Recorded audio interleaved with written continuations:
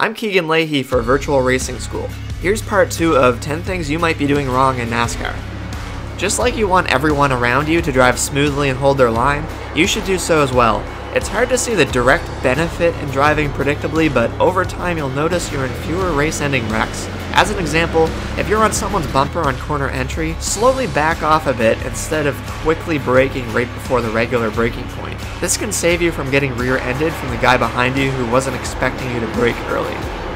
I've seen this more times than I can count. When the car starts coming up the track because you get tight, the natural instinct is to turn the wheel more. That just doesn't work. It slides the front tires and causes unnecessary heat buildup. I've seen drivers pick up over half a second of lap time on the long run just from fixing this one mistake. If you have a VRS account, try comparing your telemetry to a coach to see if you're turning the wheel too much.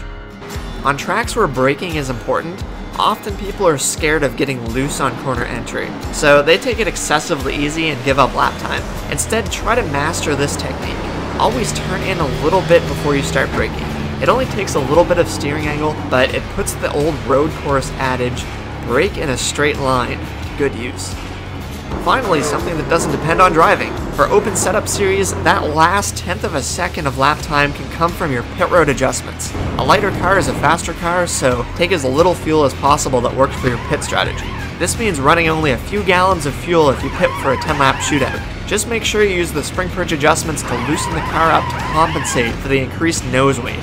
You can even use reduced fuel loads in fixed series if the setup's loose enough. Look where you want to go, not where you're trying to avoid going. Look for the white line if you want to place your left side tires on it or a seam in the track.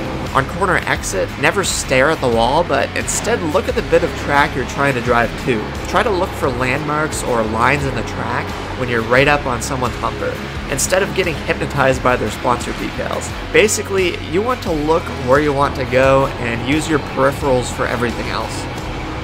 That wraps up the 10 most common mistakes I see in eNASCAR. If you'd like to see more, check out virtualracingschool.com for more in-depth data and tutorial videos.